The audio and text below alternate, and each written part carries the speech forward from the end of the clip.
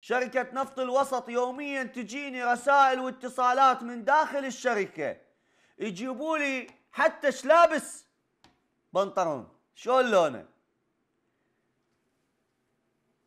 وانت عبالك راح اخليك تبقى مشلب بالكرسي؟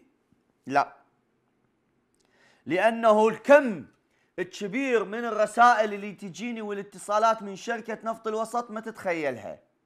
لعد قد ما يحبوك. تقول لي شنو؟ يا معود. أني باوع. شوف ما أحب أتجاوز. بس أنت يعني لما لما تقعد ويا عالم وتتجاوز علي إنه هذا الإعلامي مدري شنو ذبوا له عظمة ذبوا له مدري منو. لا حبيبي هاي العظمة تعرف وين أخليها. تمام؟ وهسه تشوف. وآخر أخبار وأخبارك شركتك التازه شركة نفط الوسط. شو وقت أنت تصعد؟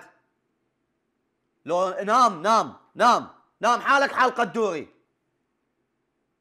نام. قدوري 24 ساعة نايم ومحمد يشتغل وأنت نفس الشيء. نفط الوسط.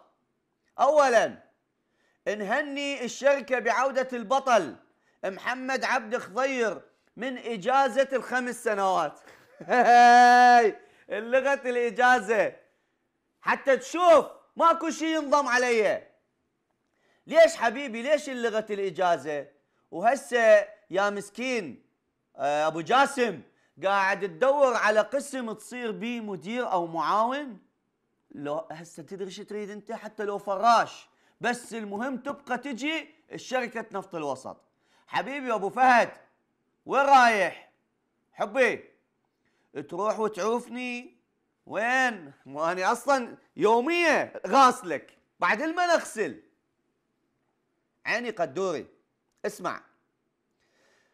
لو تسمع كلامنا وتنفذ وتغير جماعة المكتب مالتك والطيرة للحبوب علاء. ذاك اليوم من حكيت على علاء كريم. راح قدوري طيارة وداه للحبوب.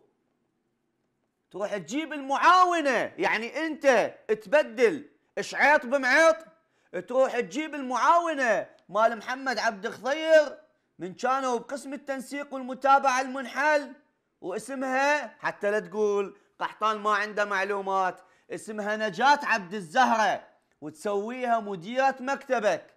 زين انت مو عندك كتاب رسمي يقول القسم قسم التنسيق والمتابعة يتدخلون بشغل مكتب المدير العام؟ ولازم تطشرهم بالأقسام بس انت ما تسمع كلام. ما تقول لي شو مسوي لك حمودي؟ هيك تخاف منه؟ هيك تخاف من محمد عبد خضير بس قل لي. لأنه آني نبشت ووصلت إنه من هو اللي ساند محمد عبد خضير وهم راح أفضحه. وهذا الكتاب مال التغيير. تغيير مكتب قدوري وتعيين نجاة عبد الزهرة. ثالثا حبيبي فارس. أبو الفوارس. حبيبي فارس سعدون. حسن إيش بيك إيش بيك أشو بس جبت اسمك بالحلقة؟ قمت تبطنش. وخربطت وسويت. لعد إذا حكيت على الميت لجنة تحقيقية اللي أنت مسؤول عنها وش قد كسرت عالم وأذيت ناس وش قد سويت ترتيبات مال الشركات تابعة القدوري ومحمد؟ عبالك؟ حبي عدي ملفاتك كلهن وهاي قدوري أبو لغد وفارس وسنان أم القانونية.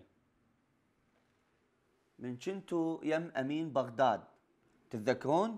على مو شنو كنتوا هناك؟ ها تتذكرون حبايب؟ هاي اليوم كافي.